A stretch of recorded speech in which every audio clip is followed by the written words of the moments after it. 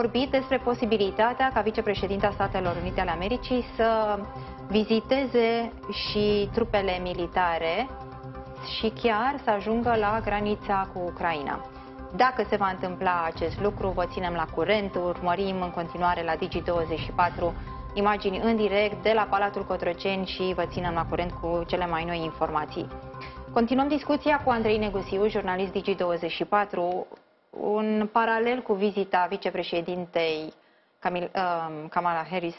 Aș vrea să vorbim despre ce se întâmplă acum în Ucraina, unde um, care este reacția Rusiei în același timp, pentru că, Andrei, am vorbit mai devreme, există noutăți, avem noi declarații în urmă cu puțin timp, atât da. din partea lui Vladimir Putin, dar și din partea lui Volodymyr Zelensky. Aș vrea să le punctăm. Care uh, sunt acestea? În primul rând, mesajul președintelui Zelensky. Uh, știm că el are mai multe mesaje de-a lungul fiecarei zile și de obicei au o tematică foarte clară. De data asta, președintele Zelenski spune că uh, poporul său luptă pentru libertate pentru a 16-a zi, uh, de patru ori mai mult decât și-ar fi închipuit uh, inamicii că ar fi putut să reziste Ucraina. Mai spune Zelenski că ucrainenii sunt oameni mândri, ei își apără întotdeauna pământul, nu vor oferi ocupantului nici măcar o singură palmă de pământ și nici măcar uh, un singur procent de libertate.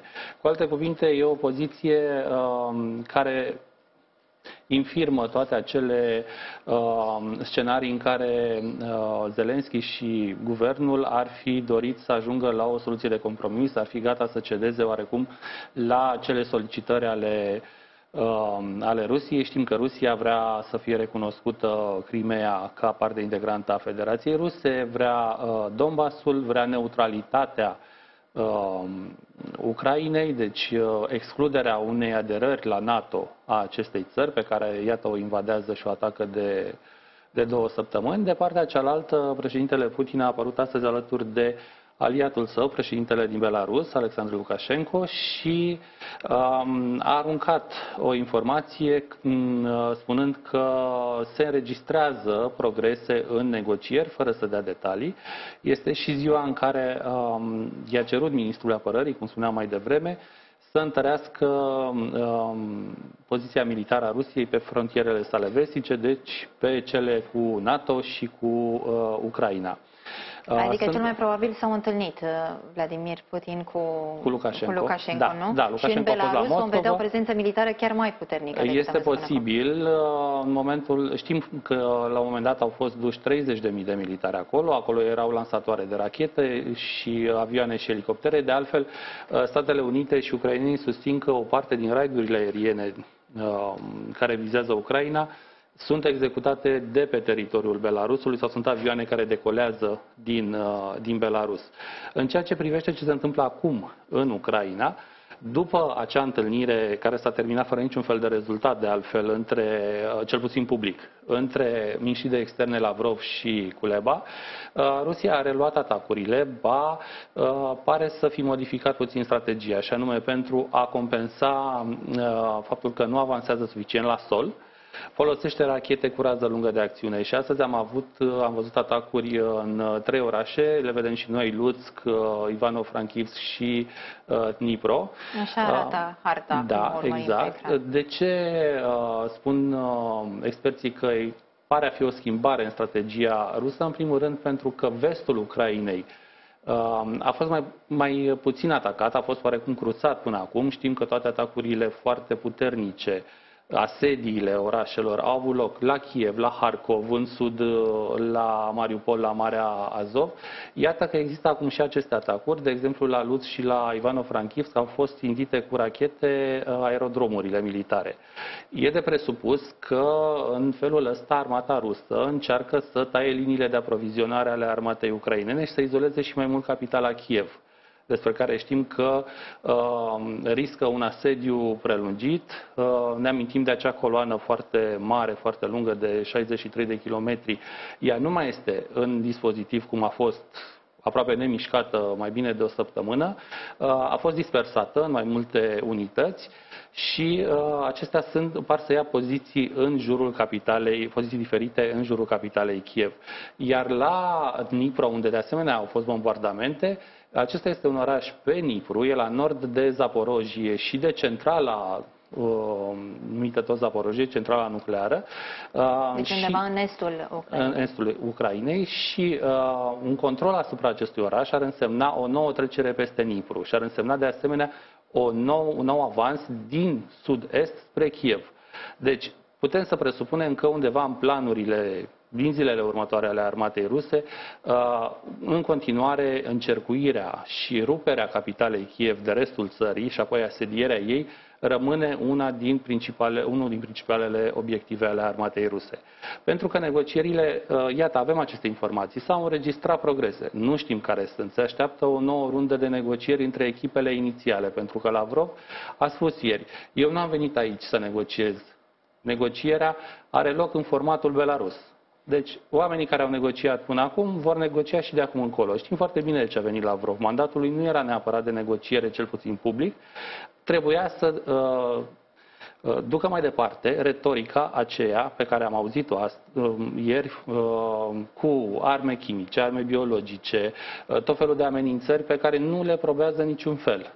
Uh, Rusia, dar și le care sunt obiectul unei uh, dezbateri în seara aceasta, la ora 18, ora la, României, la Consiliul de Securitate da, Rusia a cerut această ședință tocmai pentru a acuza oficial, nu știm ce dovezi va, va aduce, Uh, pentru a acuza Ucraina uh, că pregătește arme care sunt interzise prin tratatele internaționale. Numai că sunt experți care spun că aceste acuzații vin acum pentru a justifica un eventual atac de aceeași natură al Rusiei, care ar spune noi nu atacăm, ne apărăm. Și foarte bine că exact asta a spus și Lavrov ieri. Noi nu atac, am atacat Ucraina, doar ne, ne apărăm și nu vom ataca alte țări.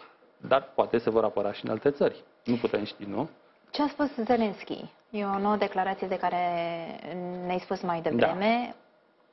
Cred că, e o cred că mult reflectează mai... care e răspunsul Ucrainei da, apropo de aceste da, solicitări ale da, Rusiei pentru a înceta focul. A, uh, și apropo de toate acele uh, informații apărute în ultimele două zile în presă, două sau trei zile, uh, potrivit cărora um, poziția Ucrainei s-ar fi nuanțat, potrivit cărora Ucraina ar fi dispusă să cedeze pe anumite paliere în uh, negocierile cu Rusia. Sigur că nu putem ști exact, pentru că exact nu știu decât Zelensky și consilierii săi și Putin și consilierii săi, firește. Unde s-a ajuns și cât este dispus fiecare să cedeze. În acest moment, însă, um, din tot ceea ce știm, era destul de surprinzătoare această întâlnire la nivel de miniștri de externe, având în vedere că până acum um, Rusia a făcut tot posibil să nu negocieze totuși direct la nivel înalt cu Ucraina. Okay. Rusia e mult mai interesată să negocieze cu Statele Unite, nici măcar cu NATO. Dacă ți-aduce aminte, au fost acele două atitudini diferite, mult mai concilient, conciliantă Moscova cu acel răspuns dat de Washington la propunerile sale, în schimb mult mai dur răspunsul față de NATO. Deci acolo erau paliere diferite. În schimb, cu Ucraina, uh, tot timpul evită un contact direct la uh, nivel de paritate, adică ministrul de externe, ministrul de externe, președinte, președinte. Deși ne aducem aminte că Zelenski a cerut de nici mai știu de câte ori că vrea o întâlnire între cei doi lideri. Ei bine, ieri, după discuțiile din, uh, din Antalya, ministrul de externe turc, care a găzduit aceste uh, discuții, a spus că uh, totuși există ideea aceasta unui summit la cel mai înalt nivel. Nu știm când se va întâmpla asta sau dacă se va întâmpla sau dacă este o nouă uh, tactică a Rusiei de a câștiga timp. De ce să câștige timp? Pentru că, de fapt, Rusia nu a obținut ce și-a dorit în aceste Putem două săptămâni. Putem presupune ce înseamnă o nouă întâlnire la, în, în alt nivel? E tot vorba de miniștri uh, de externe? Sau Cel mai probabil, dacă să... va fi, va fi una tot așa. Uh-huh. Adică summitul la nivel de șef de stat. Lavrov, da, dacă da, va exista da, o întâlnire da, între Vladimir da. Putin Însă, și Volodymyr Zelensky el, am văzut, a spus clar, uh, progresele pe teren legate de coridoare umanitare, de încetarea focului, de armistițiu, mhm. trebuie discutate în acel format Belarus. Urme, urmărim în continuare ora 18 la Digi24 de asemenea Consiliul da. de Securitate al ONU apropo de aceste avertismente care vin dinspre Rusia uh, de atacuri chimice care sunt, sunt puse... Sunt acuzații foarte grave sunt și la adresa grave Ucrainei și, și a Statelor că nu Unite. au dovezi, nu? Da, da. Da. Iar important. Cum anume va uh, folosi Rusia acest pretext? Da. A convocat Consiliul de Securitate ONU să se adreseze lumii și de asemenea și rușilor. Și totodată la Digi24 la ora 15.30 declarații comune de presă între președintele României și Kamala Harris, vicepreședinta Statelor Unite ale Americii. Le urmărim în direct aici la Digi24. Acum urmărim imaginile care au fost surprinse în urmă cu puțin timp în urmă de colegii noștri la Palatul Cotroceni. Este momentul în care Kamala Harris a fost primită de către șeful statului român. Andrei Negusiu, îți mulțumesc tare mult pentru această mulțumesc. discuție.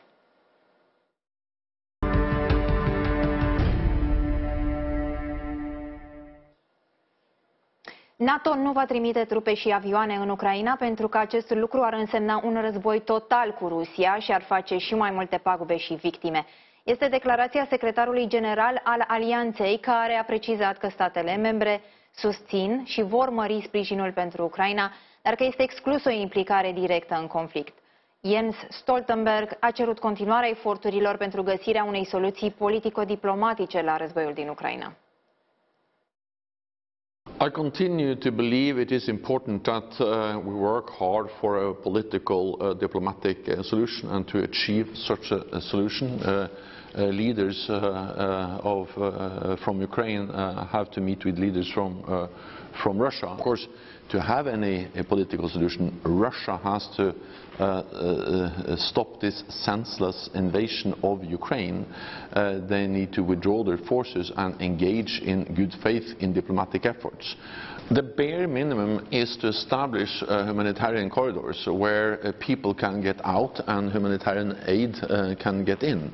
and, and any attack on civilians is is violation of international law, is, is, is a war crime. We will not send uh, NATO troops into Ukraine on the ground and not send NATO uh, uh, planes into the airspace of Ukraine because that will most likely trigger a full-fledged war uh, between uh, uh, Russia and NATO uh, causing much more damage and, and death than we see today. It will be even worse than the conflict we see today. Rusia a lovit din nou cu furie orașe din aproape toate zonele Ucrainei. În ultimele ore au fost raportate explozii puternice în trei localități. Atacurile asupra unor zone civile vin după ce autoritățile din orașul Port Mariupol au raportat că peste 1300 de civili de aici și-au pierdut viața în atacuri. Iar de o săptămână, în localitate nu mai funcționează alimentarea cu electricitate și nici alimentarea cu căldură. Andreea Georgescu vine cu mai multe informații. Pentru început, aș vrea să vedem unde au fost raportate atacuri în ultimele ore. Atât în estul, cât și în vestul Ucrainei, așa cum se vede pe această hartă, cea mai sensibilă zonă, putem spune că este a orașului Ivano-Frankivsk. Este la aproximativ 80 de kilometri distanță față de Polonia și la 120 de kilometri la nord de granița cu România. Vedem acum imagini surprinse la prima oră de civili în regiunea estică Dnipro.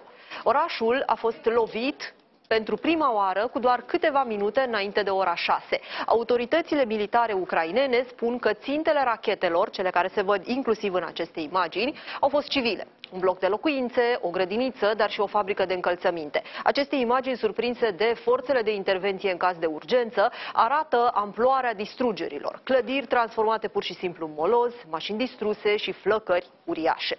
Cel puțin o persoană și-ar fi pierdut viața, au anunțat serviciile de urgență.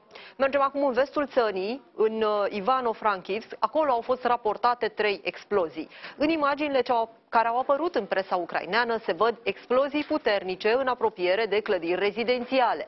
Trei coloane înalte de fum se ridică la zeci de metri înălțime, iar apoi se aude zgomotul asurzitor al exploziilor. Alt atac a fost surprins în imagini și în Lutsk, tot în vestul Ucrainei, la mai puțin de 100 de kilometri de granița poloneză.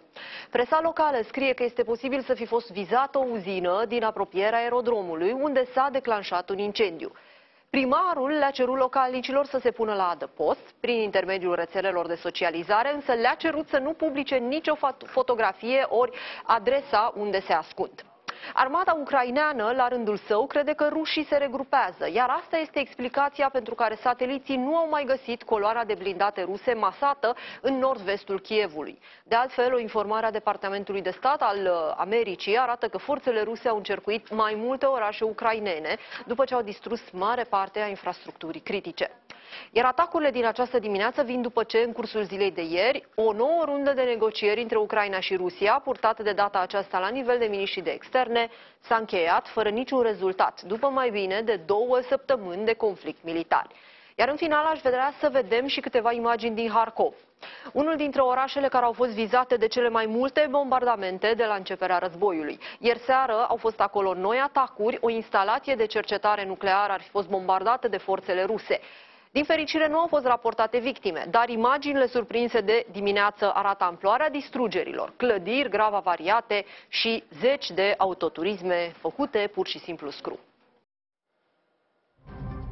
Vă reamintesc, Kamala Harris, vicepreședinta Statelor Unite ale Americii, este la București, s-a întâlnit cu președintele Claus Iohannis și acum avem ultimele imagini care au venit dinspre administrația prezidențială. E vorba de discuția dintre Kamala Harris și președintele Claus Iohannis. Această discuție privată s-a încheiat și s-a alăturat convorbirii și premierul din partea României. Premierul a mai discutat la telefon cu Kamala Harris în pregătirea vizitei vicepreședintei Statelor Unite ale Americii. A fost o discuție pe care au avut-o în privat, o convorbire telefonică privată, pentru că vicepreședinta Statelor Unite ale Americii a discutat la începutul lunii martie cu liderii din cinci țări de pe flancul estic al NATO. A fost vorba pe lângă România și de Estonia, de Letonia, Lituania, Polonia. De asemenea, e vorba de un, uh, o vizită scurtă pe care o efectuează la noi. A venit din Polonia și ce urmărim cu atenție acum și vă transmitem aici la Digi24, dacă programul oficial al vicepreședintei Statelor Unite ale Americii va fi completat. Deocamdată știm doar de această întâlnire cu președintele Claus Iohannis și la ora 15.30, aici, în direct la Digi24, vom urmări și declarația lor comună de presă. Ce vedeți acum în imagini este și semnarea în Cartea de Onoare și convorbiri de tatet care se află la Palatul Cotroceni de către Kamala Harris. Revenim în scurt timp.